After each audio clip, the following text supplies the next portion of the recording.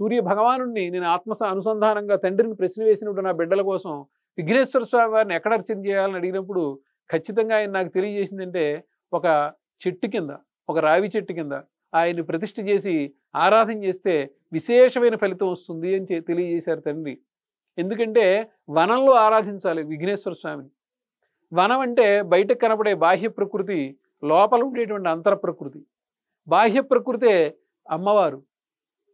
అదే అమ్మవారిని లోపల తీసుకుంటే అంతర్ప్రకృతిగా మనకి ఆవిడ పరిఢవిల్లుతారన్నమాట అదే బాహ్య ప్రకృతికి సంబంధించి మనం కనుక విఘ్నేశ్వర స్వామిని కనుక అక్కడ పెట్టి కనుక మనం ఆరాధన చేస్తే విశేష ఫలితాలను పొందుతారు. మరలా మట్టి నీటితోనే చేయాలి తప్ప వేరే వాటితో చేయకూడదు. గుర్తుపెట్టుకోండి సైన్స్లో కూడా ఒక ప్రాక్టికల్ చేయాలన్నప్పుడు దానికి సంబంధించి కొన్ని లిమిటేషన్స్ ఉంటాయి. అలాగే భగవత్ ఆరాధనలో కూడా కొన్ని లిమిటేషన్స్ ఉన్నాయి. అవే నాకు తండ్రి తెలియజేసినటువంటివి. ఎక్కడ వనంలో అయితే మనం పెట్టి అర్చిస్తామో అక్కడ విఘ్నేశ్వర స్వామి అత్యంత శక్తివంతంగా మనకి అనేకమైన విధానాల్లో ఆయన అనుకూలతని ఆయన మనకి ప్రకటిస్తారు. అటువంటి వనాల్లోకి ప్రతి వాళ్ళు వెళ్ళలేరు కనుక ఆ రోజుని వాళ్ళింటినే ఒక వనంగా మారుస్తారు. ఆ వనంగా ఏంటంటే ఇందాక నేను తెలియజేసినట్టుగా ఏనుగు ఏదైతే ఇష్టపడుతుందో ఆ ఫలాల్ని పట్టుకొచ్చి పెట్టాలి. ఏనుగు ఏదైతే అద్భుతంగా భోజనం చేస్తుందో అటువంటి ఆ పత్రిని పట్టుకొచ్చి అక్కడ పెట్టాలి. దీనివల్ల ఏం జరుగుతుంది అనుకుంటే మనకి ఆక్సిజన్ అనేటువంటిది చాలా పుష్కలంగా లభిస్తుంది దానివల్ల ఇంకా బలంగా ముందుకెడితే నేను నా బిడ్డలకు తెలియజేస్తాను. శ్రవణము భాద్రపదము ఆశ్వేయము కార్తీకము మార్గశీర్షము. ఈ ఐదు నెలలు కూడా చాలా అద్భుతమైన నెల నెలలు నాన్న. ఏ మార్గంలో ప్రయత్నం చేసేవాళ్ళైనా ఈ నెలల్లోనే ప్రయత్నం చేయాలి. శ్రవణంలో వినాలి. అంటే ఏం చేయాలో ఎదరు రోజులు అనేటువంటి శ్రవణ మాసంలో ఖచ్చితంగా వినాలి. భాద్రపదము అంటే భద్రమైన మార్గం. ఆ భద్రమైన మార్గానికే ఆ భాద్రపద మాసంలో ఒకటి రెండు మూడు నాలుగు రోజులు నాలుగో రోజున అంటే చతుర్థి రోజున మాత్రమే విఘ్నేశ్వర స్వామి వారిని మనం ఆరాధన చేస్తాం. ఎందువల్ల? ఆ తర్వాత నెలలోకి కాలంలో మనం ప్రయాణం చేయాలంటే మనకి ఏ అడ్డంకులు రాకుండా ఉండగలందులకు స్వామివారిని మనకి మనకి విఘ్నేశ్వర స్వామి వారిని మనం చతుర్థి రోజుని మనం ఆరాధన చేస్తాం. ఆ తర్వాత చతుర్థి అయిపోయిన తర్వాత మహాళయ పక్షాలు వస్తాయి. మన పౌర్ణమి నుంచి భాద్రపద పౌర్ణమి దాటాక మహాళయ పక్షాలు వస్తాయి. ఆ మహాళయ పక్షాల్లో పితృదేవతలను ఆరాధన చేస్తాం. చూడండి పితృ సంబంధమైన ఆరాధన లేకుండా ఏ పని జరగదు. ఇది ఉంది అంటే ఉంది. కృతజ్ఞతాపూర్వకమైన ఆరాధనే ఆరాధన. పితృదేవతలను ఎందుకు ఆరాధించాలంటే కృతజ్ఞత కోసం. మనకి జన్మనిచ్చారనే కృతజ్ఞత కోసం. వారిని ఆరాధించాలి. ముందు విఘ్నేశ్వర స్వామి వారిని ఆరాధించి ఆరాధించి ఆ అడ్డు తొలగించుకుని పితృదేవతల యొక్క ఆరాధన మనం చేస్తాం. ఎక్కడ? భాద్రపద పౌర్ణమి నుంచి మొదలుకుని అమావాస్య వరకు. అక్కడ పితృ సంబంధంగా మనకి ఆశీర్వచనం వచ్చింది. ఆ తర్వాత ఆశ్వేయ మాసంలో అమ్మవారి ఆరాధన చేస్తాం. విఘ్నేశ్వర స్వామి వారు ఎక్కడి నుంచి వచ్చారు? అమ్మవారి నుంచి వచ్చారు. ముందు ఈయన ద్వారా భాద్రపద శుద్ధ చవితి నాడు ఆయన ఆరాధన చేసి అలాగే మనకి పితృదేవతలను ఆరాధన చేసి ఈ రెండింటి ద్వారా ఆశ్వేజ మాసం పాడ్యం నుంచి మొదలైనటువంటి అమ్మవారి పండుగలు అంటే పది రోజులు తొమ్మిది రోజులు పండుగలు మనం చేస్తాం. దుర్గా నవరాత్రులు అంటాం. ఆ నవరాత్రుల్లో అమ్మవారి దగ్గరికి ఎక్కడి నుంచి అయితే విఘ్నేశ్వర స్వామి వచ్చారో అక్కడికి మళ్ళీ అమ్మవారి దగ్గరికి మనం అక్కడి నుంచి ప్రయాణం చేస్తాం. ఆశ్వేజ మాసంలో. ఆశ్వేజం అయిపోయింది. అక్కడి నుంచి కార్తీక మాసంలో అయ్యవారు ఎవరైతే శిరస్సు తరిగి మరుజన్మ రావడానికి కారణమయ్యారో ఆయన వైపు మనం ప్రయాణం చేస్తాం. ఈ ప్రయాణాలంతటికీ మూల బిందువు ఏంటంటే శ్రవణ మాసం అంటే శ్రవణ మాసంలో వినాలి ఇవన్నీ. భాద్రపద మాసంలో శుద్ధ చవితి నాడు విఘ్నేశ్వర స్వామి వారిని అర్చన చేయాలి. అక్కడి నుంచి బయలుదేరి అమ్మవారి దగ్గరికి వెళ్ళాలి దసరా పండుగల్లోకి. పితృదేవతలు ఉన్న అమ్మవారి దగ్గరికి వెళ్ళాలి దసరా పండుగల్లో. కృతజ్ఞత లేదే అమ్మవారు కూడా అవకాశం ఇవ్వరు. కృతజ్ఞత కోసమే పితృదేవతలను ఆరాధన చేయాలి. ఆ తర్వాత అమ్మవారిని ఆరాధన చేశారు. అమ్మవారి నుంచి వచ్చారు విఘ్నేశ్వర స్వామి. కానీ పునర్జన్మ పొందింది అయ్యవారి దగ్గర అంటే కార్తీక మాసంలో శివారాధన చేయాలి. ఈ మూడు జరిగిన తర్వాత శుక్లాం వరధరం విష్ణు అన్నట్టుగా మార్గశీర్ష మాసంలో విష్ణు ఆరాధన చేయడం ద్వారా మార్గశీర్షానికి అంటే మార్గం యొక్క చిట్ట చివరి బిందుకు మీరు చేరతారని నా బిడ్డలకి ఎన్నో సంవత్సరాలుగా నేను చేస్తున్న బోధ.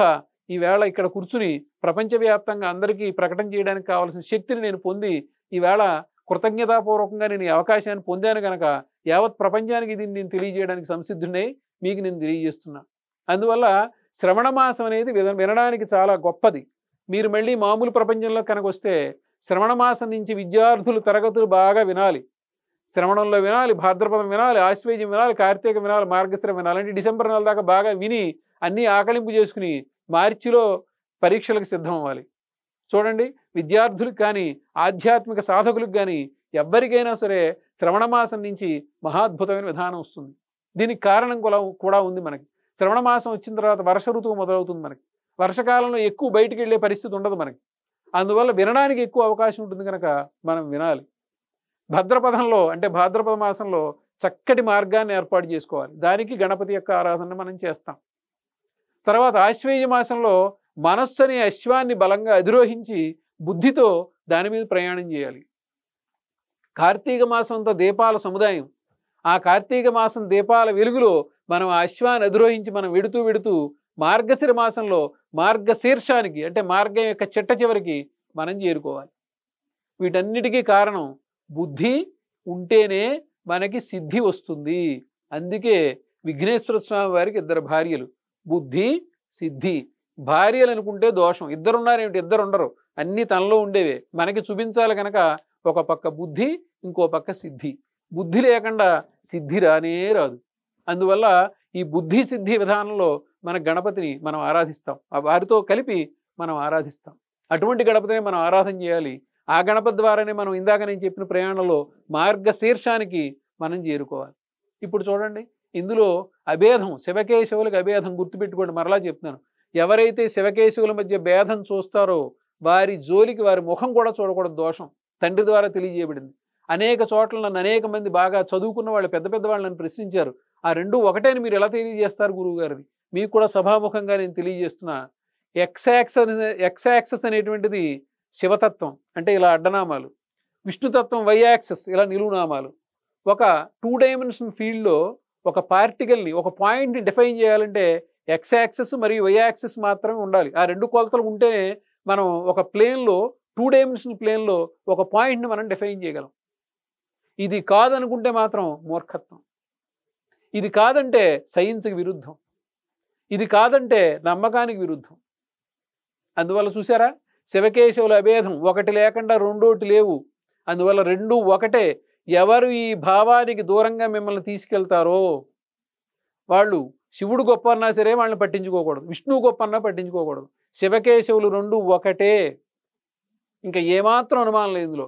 బాగా గుర్తుపెట్టుకోండి ఎక్స్ ఎక్స్వై యాక్సెస్ లేకుండా మనం ఒక విషయాన్ని మనం నిర్వచించలేము టూ డైమెన్షన్ ఫీల్డ్లో అలాగే త్రీ డైమెన్షన్ ఫీల్డ్లో ఎక్స్వై జెడ్ యాక్సెస్ మూడు ఉండాలి. అప్పుడు మళ్ళీ ఎక్స్వై జెడ్ అంటే బ్రహ్మ విష్ణు మహేశ్వర తత్వం మూడు కనిపిస్తాయి మనకి. అంటే ఒక విషయాన్ని అనుకోవడం బ్రహ్మతత్వం అయితే దాన్ని సాధనా మార్గంలో తీసుకెళ్ళిన విష్ణుతత్వం దాన్ని ఆ పని పూర్తి అయిపోయాక దాన్ని అక్కడతో వదిలిపెట్టి ఇంకో పనికి వెళ్ళడం అనేటువంటిది శివతత్వం. ఈ మూడు అద్భుత తత్వాలే ఒకే మనిషిలో మొదలవుతాయి ఇవి. అందువల్ల మూడు ఒకే శక్తి దానికి భేదం లేదు. ఇది గుర్తుపెట్టుకోండి ఇది ఆత్మజ్ఞాన సంబంధంగా తండ్రి నాకు తెలియజేసిన విషయం. అది విద్యార్థులకు కానీ మేధావులకు కానీ ప్రతి ఒక్కరికి కూడా ఇదే నియమం నిరూపణ.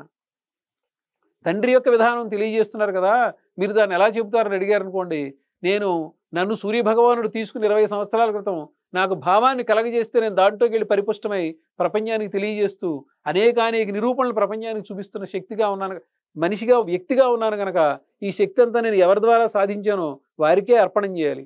వారే సాక్షాత్తు సూర్య భగవానుడు ఆయన ద్వారానే నేను ఈ శక్తిని పొందడం జరిగింది. ఇది పరిపూర్ణ సత్యం. మీకు అందరికీ సైన్స్లో తెలుసు. రెజనెన్స్ ద్వారా మనం ఎన్నో సాధన చేయొచ్చు. మీరు రెజనెన్సే అనుకోండి. సాక్షాత్తు సూర్యభగవానుడికి నాకు ఉన్నది. అని అనుకుంటే మీకు ఈ జ్ఞానంలోకి వెళ్ళి మీరు దీన్ని తీసుకోగలుగుతారు. జ్ఞానం యొక్క పరమధర్మం ఏంటంటే ఒక గ్లాసు పైన మూత పెట్టి నీళ్ళు పోయాలనుకుంటే లోపలికి వెళ్ళవు. అది మనస్సు వరకు పరిమితం అయిపోతాయి. ఆ మూతను కనుక మీరు పక్కన పెట్టి లోపలికి నీళ్ళు పోస్తే గ్లాసులోకి పెడతాయి. ఇది జ్ఞానం. లోపలికి వెళ్ళడానికే మేము ఇబ్బంది పడతాం అనుకుంటే ఇంకంత మించి మనం చేయడానికి ఏం ఉండదు. అందువల్ల గుర్తుపెట్టుకోండి విఘ్నేశ్వర ఆరాధన ఇలా చేయాలి.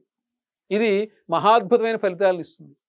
అందుకనే ఇంట్లో కూడా మీరు ఎంత సహజంగా ఉంటే అంత సహజమైన వాటితోనే మీరు చేయండి.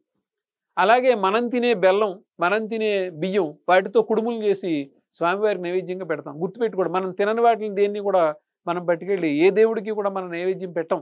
అది ఏ ప్రక్రియలోనే అంతే. ఎందుకంటే ఆ స్వామి ముందు పెట్టినప్పుడు ఆయన ఒక్కసారి అలా చూస్తారు ఆ తర్వాత మనం దాన్ని తీసుకుంటాం బలమైన విశ్వాసంతో ఉంటాం మనం. అందువల్ల ఆయనకు నివేదనం చేసి మనం తీసుకుంటాం. నిజానికి నివేదన నైవేద్యం అంటే మీకు ఒక మాట తెలియజేస్తాను నేను. నైవేద్యం అంటే నా విద్యతి. నా విద్య నా వైద్య నా విద్య ఏదైతే తెలుసుకోవడానికి పనికిరాదో దాన్ని అక్కడ పెట్టాలి. తెలుసుకోవడానికి పనికిరాంది ఏంటి? మూర్ఖత్వం అజ్ఞానం. అది తెలుసుకొనివ్వదు మనల్ని. అందువల్ల అది పట్టుకొచ్చి భగవంతుడి పాదాల దగ్గర పెట్టాలి. అప్పుడు ఆయన మనకు కావలసినటువంటి పరిపుష్టతనంతా ఇస్తారు. ఇంకొకరు అడిగారు కోరికలు తీర్చుకోవడానికైనా భగవంతుని ఆరాధించాలి. శుద్ధ అబద్ధం ఎవరు చెప్పినా నమ్మకండి. ఈ తండ్రి వాక్యానికి నేను అంత బలంగా తెలియజేస్తున్నా. కోరికలను అదుపులో ఉంచుకోవడానికి వీలైతే తగ్గించుకోవడానికి భగవద్ ఆరాధన చేయాలి. గుర్తుపెట్టుకోండి బలంగా. సనాతన ధర్మం ఇదే ప్రతిపాదన చేస్తుంది.